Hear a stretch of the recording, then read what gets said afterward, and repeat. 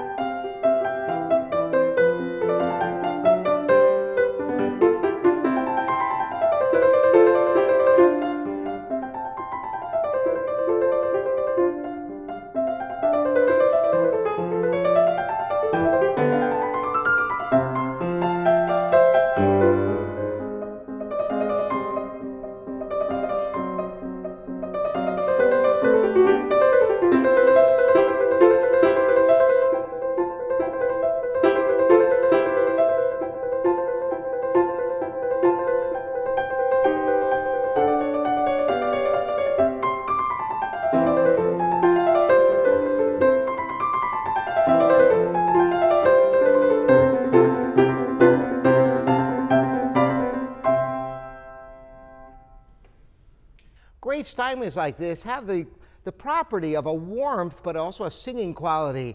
More than that, you can really sink into the keys without ever getting a harsh tone. Listen to the beginning of Schumann's Carnival.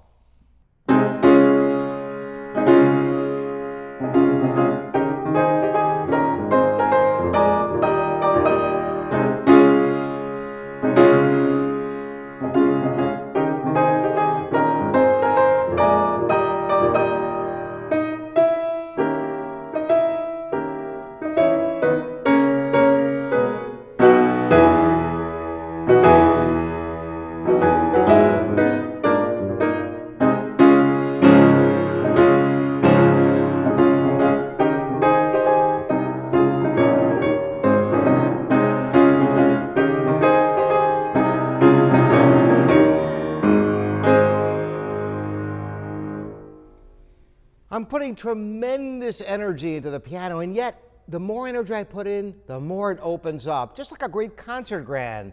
In fact, this is a terrific instrument for a serious player if you have to be prepared to play larger grands. Although this is only a 5-7 and will fit in almost any living room, it still is a formidable instrument. I'm going to close now with the poetry of The Little Shepherd of Claude Debussy from the Children's Corner Suite.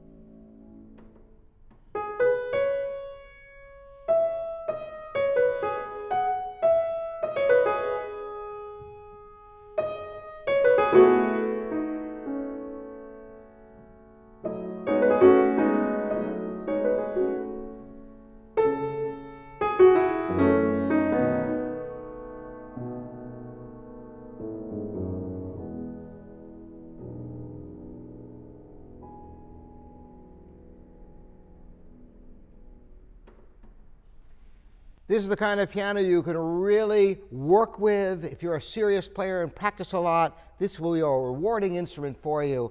It also looks gorgeous. I wish I could have an unlimited number of these pianos because they're so desirable for me and for anybody who appreciates great Steinways. Thanks for joining me, Robert at livingpianos.com. I'll see you next time.